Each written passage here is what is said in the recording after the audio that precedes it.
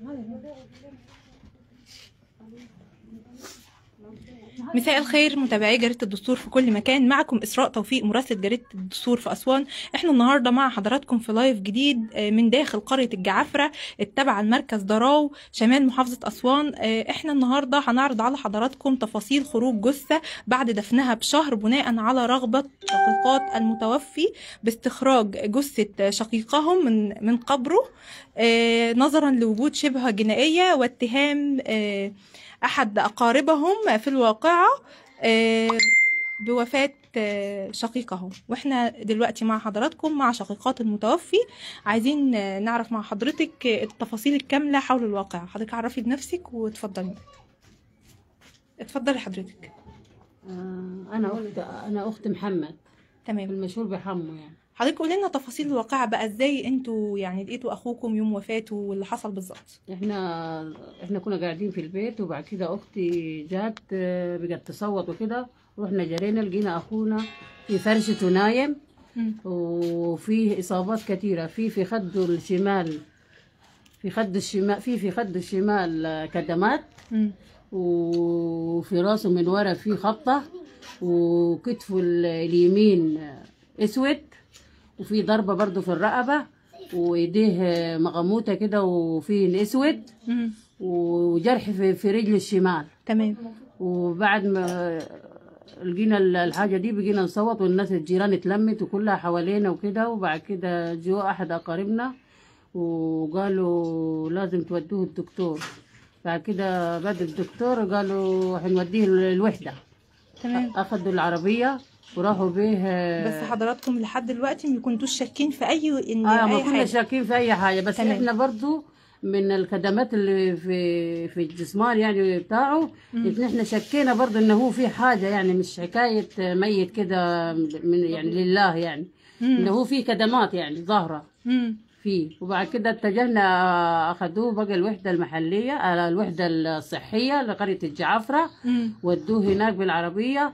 وبعد كده إحنا طلبونا ورحنا وقالوا لنا دي الأول طلعنا عند ال طلعنا الوحدة وقالوا لنا دي أصلا شبه جنائية مم. بعد كده طلعنا فوق وكده استجوبونا يعني وكده وقالوا لنا دي دي حيطة مش دي حيطة مش شبه جنائية الحيطة وقعت على اخو حضرتك آه الحيطة وقعت على أخويا بس هي الحيطة ما وقعتش على أخويا على فكرة. هو هل أخ- في حيطة عند حضراتكم لقيتوها فعلا واقعة ولا هم بناء على إيه قالوا إن حيطه واقعة؟ وعلى بناء إن إحنا إحنا عندنا حيطة كتير وقع بس مش وقعت ولا لقيناه تحتيها أصلا. مم. ده الكلام ده غلط خالص. امم لا إحنا لقيناه ميت على فرشته جوا داخل أوضته. تمام.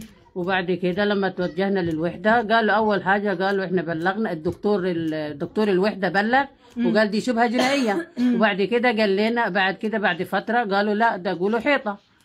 بعد كده لما قلنا حيطة أنا رحت أنا وأختي. وقالوا لنا خشين الوحدة قالوا لنا الكاميرات ظهرت الكاميرات ظهرت إن دي ده مقتول وكده.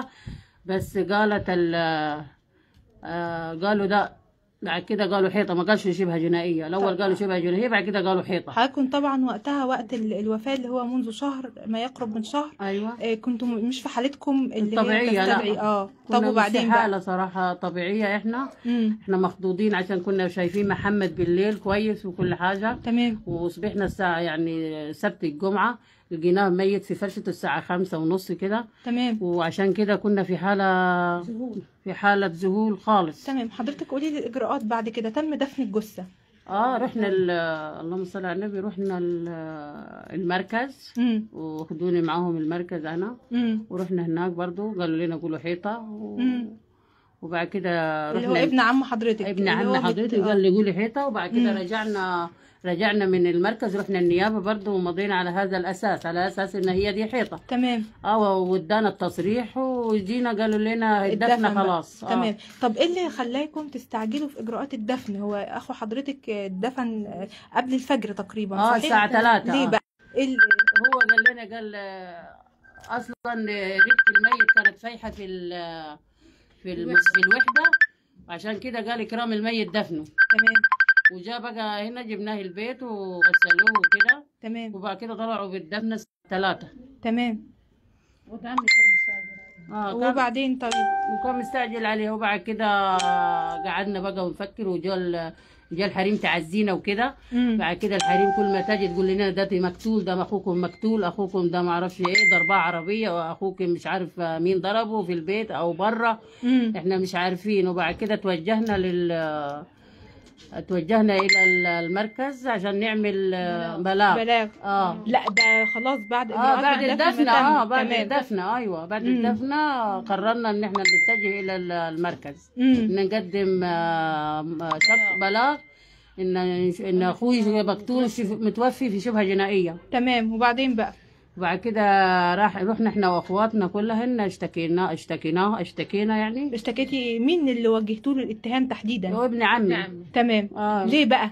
لأنه هو كل تصرفاته كانت آه، صراحة تدل على هذا. تمام. طب وغير كده كلام الناس برا. طب والأقاويل أو التداول الكلام اللي هو كلمكم قال لكم ان أخوكم توفى في إيه بالظبط بس كان كلام ودي بينكم بسبب اتهامه.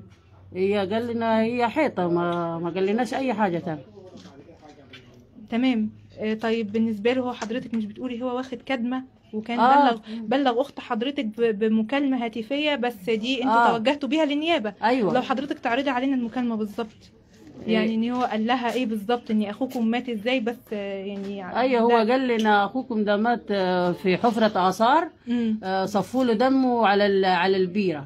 تمام. بس رفض آه، الادلاء بأي معلومات. آه رفض آه بأي حاجة يدل على هذا ال- وتوجهتوا ليه بشكوى رسمية آه. بناء على مكالمته دي. أيوه تمام. توجهنا أيوه. تمام. وبعدين حضرتك يعني ال- حالة الجثة وصف حالة الجثة أثناء آه، دفنها. آه، هو لما جاء من الوحدة عشان التكييف اتطفى في الوحدة المحلية على الوحدة الصحية اتطفى التكييف ولقينا الريحة فاحت. وهو أول ما جاب الدفنه قال دي الريحة فايحة لازم نغسل دلوقتي. وندفن دلوقتي الساعة 3 امم مستعجل. مستعجل كان على الدفنه خالص. تمام. هنكمل مع حضرتك؟ اتفضلي حضرتك. مستعجلين؟ مين اللي استعجل بالظبط على الدفنه ابن عمي. تمام. وبعدين طيب؟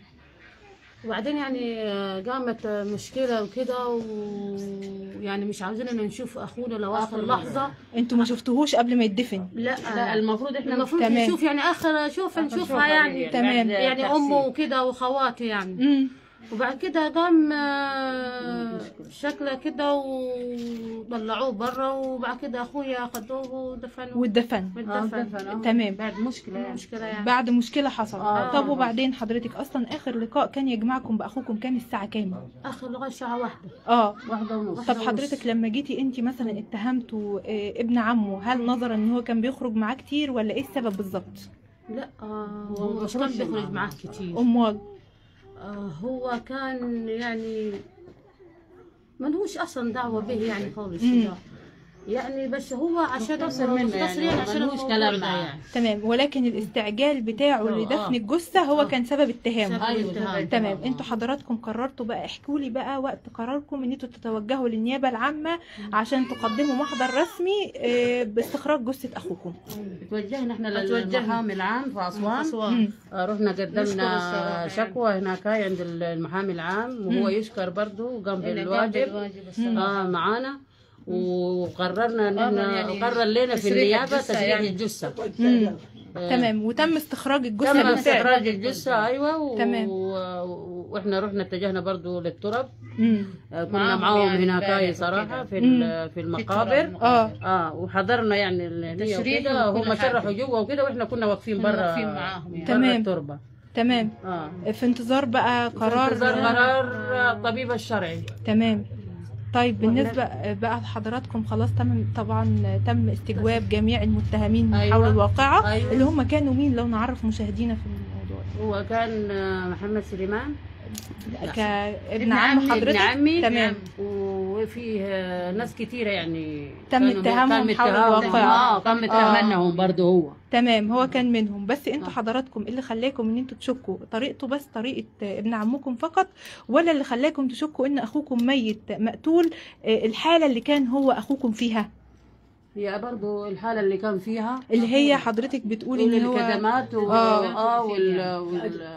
والضربات في في رقبته وكده و...